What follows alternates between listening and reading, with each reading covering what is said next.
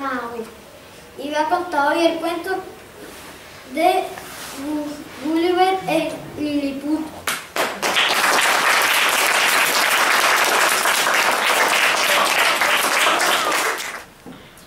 Gulliver en Lilliput. Cuando su padre murió, la madre y Gulliver quedaron solos y pobres. Se fue acabando la corta herencia y al fin tuvo Gulliver que decidir ponerse a trabajar para ganar algo de dinero. Me embarcaré y seré marino, dijo a su madre. Dicho y hecho. Se enroló en un barco inglés que iba a países lejanos. La travesía no fue mala, hasta que estuvieron lejos de la costa de su país. Entonces se, desató una terrible tormenta que hizo naufragar el barco. Gulliver se vio en medio de las aguas enfurecidas, agarrado a un pedazo de mástil roto. Pero la suerte le acompañó, y tras varios días de soledad y hambre, el mar le arrastró a una playa fina de arena. Gulliver, desvanecido de sed y fatiga, se dejó caer en la orilla y perdió el sentido. Después de unas horas se despertó. Un agradable sol le secaba las ropas y le calentaba los músculos. Pero cuando trató de moverse, se dio cuenta de que no podía. Estaba atado al suelo por un gran número de cuerdecitas. De reojo, vio que le rodeaban varios cientos de seres diminutos, vestidos de soldados, que le apuntaban con sus lanzas. ¡Eh! ¡Soltadme! No os haré nada, dijo Gulliver, pero nadie le entendió. Decidió tener paciencia.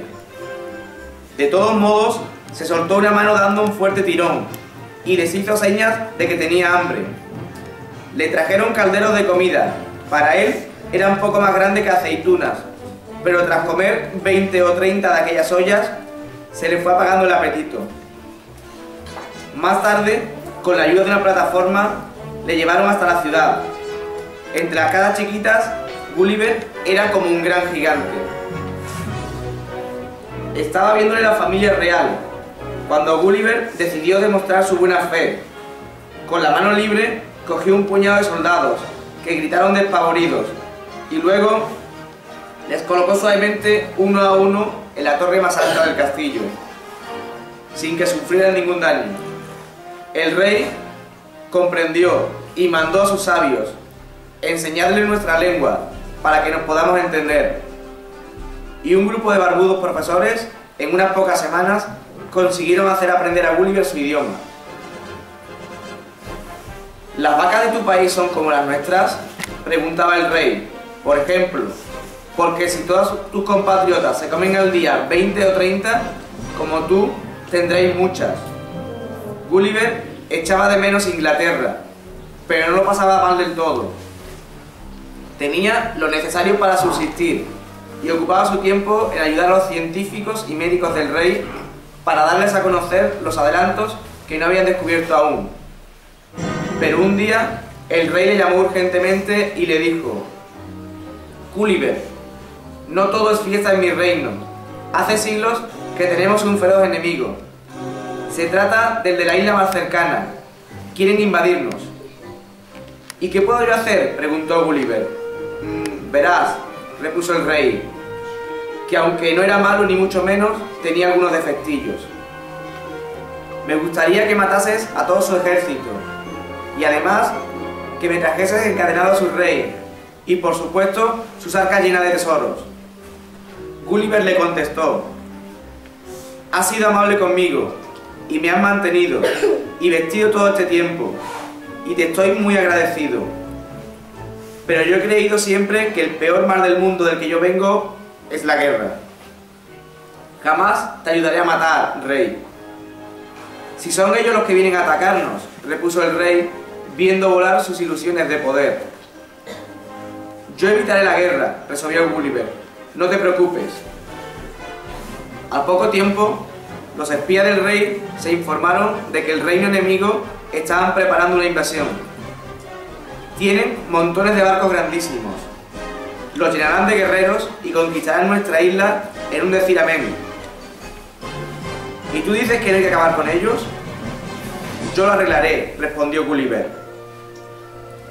Se levantó bien temprano y fue al mar. Las diminutas islas estaban en una zona muy poco profunda, así que pudo ir andando hasta el reino vecino por el agua. Con unas cuerdas ató todos los buques de la flota y se los llevó mar adentro para que los arrastrase la marea. Luego regresó. Cuando el rey supo que su terrible enemigo estaba desarmado, proclamó un mes de fiesta nacional en honor de Gulliver. Pero Gulliver sentía nostalgia, de su casa. ¿Qué te sucede, amigo? le preguntó el rey. ¿Es que no te, no te divirtieron nuestros festejos? ¿Acaso te parecen feas nuestras damas? ¿O es que estás enamorado? Gulliver decidió hablar claramente con el rey. Majestad, quiero volver a mi casa. ¿Pero qué dices? exclamó el monarca, tirándose de los cabellos. Si tú te vas, cualquier otro pueblo podrá impedirnos. ¿Quieres dejarnos indefensos? Os propongo un pacto. Yo ayudaré a vuestros artesanos a construir una buena flota de barcos, si me prometéis no invadir vosotros nunca a los vecinos. Mm, está bien, lo prometo, contestó el rey de mala gana, aunque dispuesto a cumplir su promesa. Estaba ya acabada la flota cuando un día, probando en el mar los barcos, Gulliver fue avisado por un liliputiense. ¡Eh! ¿Qué es aquello tan grande, señor? Era un barco a la deriva, y además un barco normal, del tamaño que usan los hombres como Gulliver. Nuestro amigo no cabía en sí de gozo. Esperó a que la marea acercase más el barquito y luego lo arrastró hasta la playa. Estaba deteriorado y viejo, pero Gulliver pensó, ahora o nunca, y habló con el rey así. He hecho por Lilliput cuanto había prometido. Ahora os toca ayudarme a mí. Ponga a mi servicio a todos tus artesanos, pues quiero arreglar la pequeña nave y marchar con ella a casa. A, regañadientes, el rey tuvo que aceptar, y en poco tiempo, de mucho trabajo, el barco estuvo reparado y con una vela nueva. Así, salió Gulliver de Lilliput, y a los pocos días fue recogido en el mar por un buque holandés que le llevó a su casa. Gulliver se hizo rico y famoso contando sus extraordinarios viajes, y a quien no le creía, le enseñaba los diminutos animales de Lilliput. Y su historia ha llegado hasta mí por un libro que leí.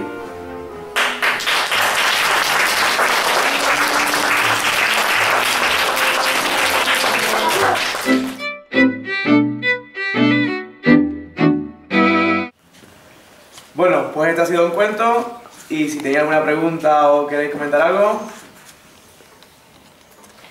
Pues, ¿por qué no, le, por qué no entendía su idioma? Porque venía de un país distinto, de un sitio muy lejano, entonces, como pasa aquí, en los países que son más lejanos y eso, pues hablan idiomas distintos, pues allí pasaba lo mismo. Ángel. Mm, ¿Por qué murió su padre? Pues porque tenía una enfermedad y murió joven. Sergio. ¿Qué es un Lilliput? Lilliput es un país, igual que está España, igual que está Francia, Portugal, pues había un país muy lejano que se llama Lilliput. Mm, ¿Cómo era el rey? ¿Cómo era el rey de qué? De, de allí del país este. Pues era un hombre mayor, igual que el rey de aquí, era el, el que gobernaba allí en el país, Pero pequeñito. pequeñito, igual que todos los ciudadanos allí. Sí, porque le pregunté al rey a, a, a Lilliput si, si estaba enamorado o, o su dama era muy fea. Porque estaba, tenía mucha pena porque quería volver a su país, entonces el rey no sabía qué le pasaba y le quería preguntar qué, qué es lo que le pasaba. ¿Dónde está Williput? Pues en un país muy, muy, muy lejano, que nadie ha conseguido llegar.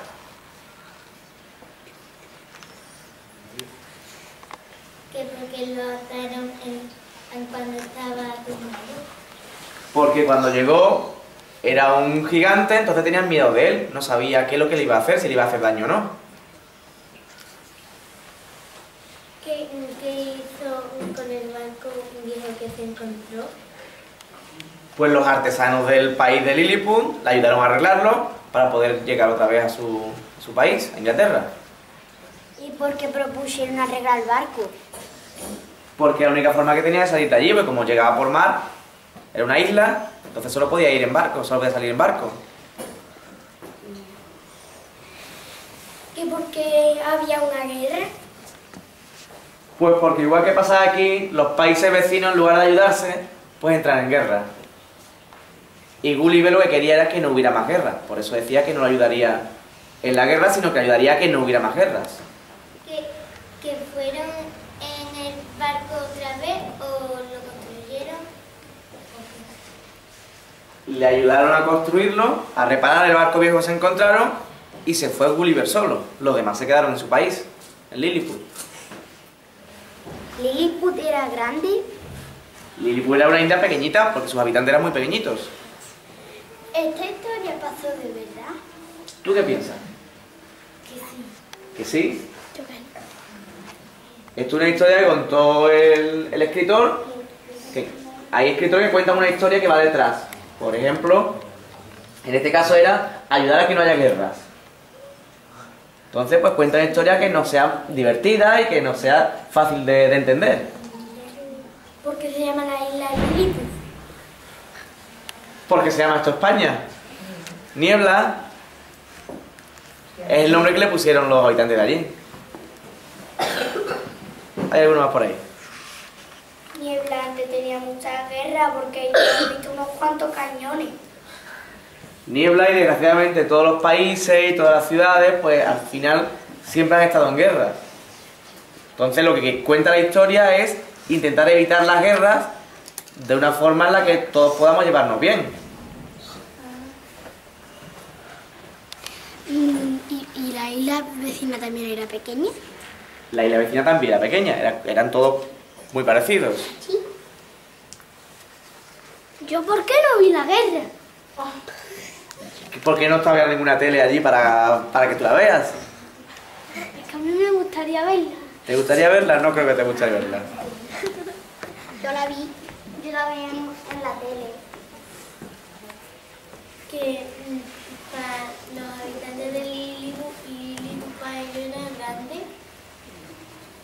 Para ellos, lo que vivían allí, los que vivían allí, las ciudades, los animales y y la isla era grande, era normal, como si fuera para nosotros lo que hay aquí. Pues si no queréis nada más, muchas gracias por vuestra atención y hasta otro día.